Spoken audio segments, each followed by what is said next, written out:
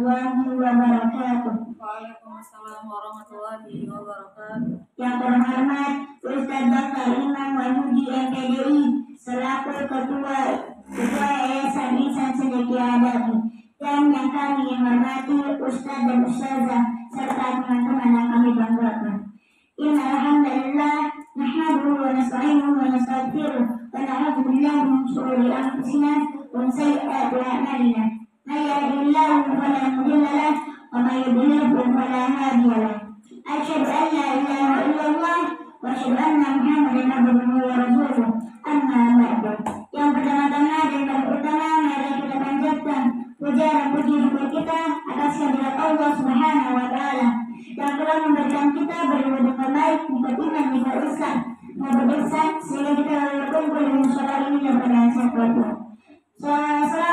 Kita curahkan kepada junjungan kita dan Nabi besar kita Nabi Muhammad Sallallahu Alaihi Wasallam yang telah membawa kita dari zaman jahiliyah menuju Islamnya dan yang kita nanti-nantikan sampai pada dunia yang kelak. Baiklah, berdirinya di sini akan menyampaikan program singkat yang berjudul Kemenangan Menyambut Ramadan.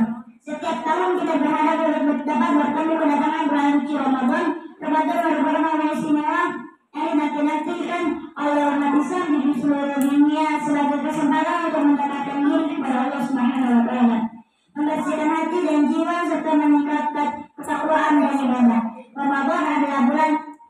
bulan yang berberkah, rahmat dan ampunan.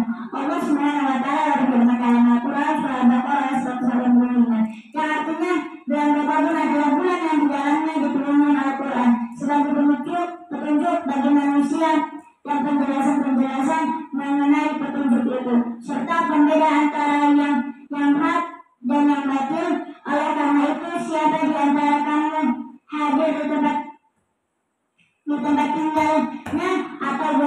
musafir pada bulan itu berpuasalah siapa yang sakit atau dalam perjalanan lalu tidak puasa. Maka wajib menggantinya sebagai sebanyak hari yang ditinggalkannya. Pada hari-hari yang lain Allah mengganti Allah mengendaki kemudahan bagimu dan tidak mengendaki kesyukuran.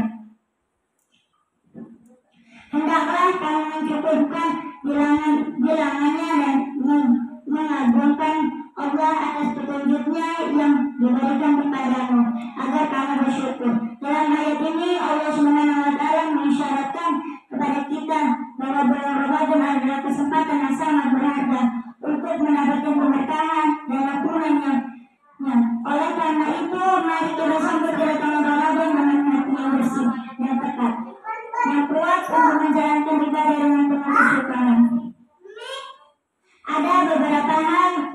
yang dapat kita lakukan untuk menyambut Ramadan dengan baik. Satu, membersihkan hati dan jiwa. Sebelum Ramadan tiba, mari, mari kita introspeksi diri dan membersihkan hati serta jiwa dari segala dosa yang, yang kesalahan yang telah kita lakukan. Bersihkan hati dari rasa iri, dengki, dan kebencian serta tingkatkan tingkatkan kebaikan dan ketakwaan dalam diri.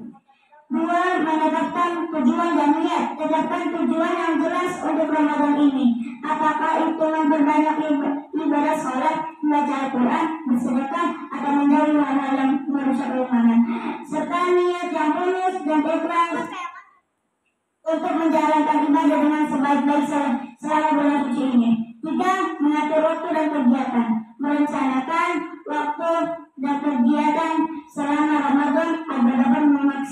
memaksimalkan ibadah. Tentukan waktu untuk beribadah, berdoa, membaca Al-Quran, serta waktu untuk istirahat dan menjaga kesehatan tubuh. Empat, meningkatkan meningkatkan kebaikan dan kebajikan. Gunakan bulan Ramadan sebaik sebagai kesempatan untuk meningkatkan kebaikan dan kebajikan. Dalam kehidupan sehari-hari bersedekah kamu yang membutuhkan berbuat baik kepada sesama dan menjaga hubungan silaturahmi dengan keluarga dan dan masyarakat. Dengan Ramadan dengan hati yang bersih dan tekat yang kuat, kita akan